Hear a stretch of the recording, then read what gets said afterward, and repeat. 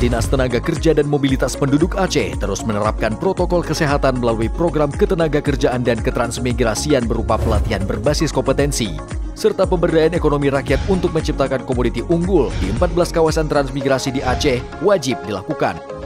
Pemerintah Aceh melalui Dinas Tenaga Kerja dan Mobilitas Penduduk ikut andil program pemulihan ekonomi nasional melalui program pelatihan berbasis kompetensi, pemagangan dalam negeri, pemberdayaan ekonomi, dan ketahanan pangan, serta kewirausahaan bagi warga transmigran.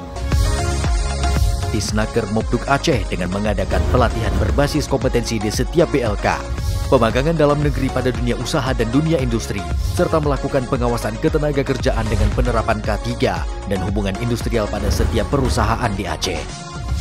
Pada masa pandemi COVID-19, meskipun lapangan kerja relatif terbatas, pelatihan vokasional yang dilaksanakan Balai Latihan Kerja dan Pemagangan Dalam Negeri diharapkan mampu menjadi bekal bagi putra-putri Aceh ketika akan berkecimpung di dunia kerja.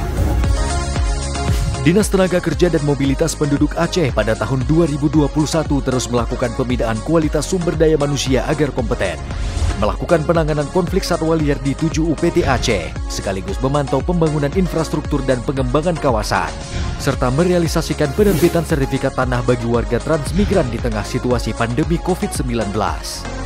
Mari kita tetap jaga protokol kesehatan di setiap lingkungan kita bekerja dan dukung bersama program vaksinasi nasional dalam upaya penanggulangan COVID-19. Pesan layanan masyarakat ini disampaikan Dinas Tenaga Kerja dan Mobilitas Penduduk Aceh.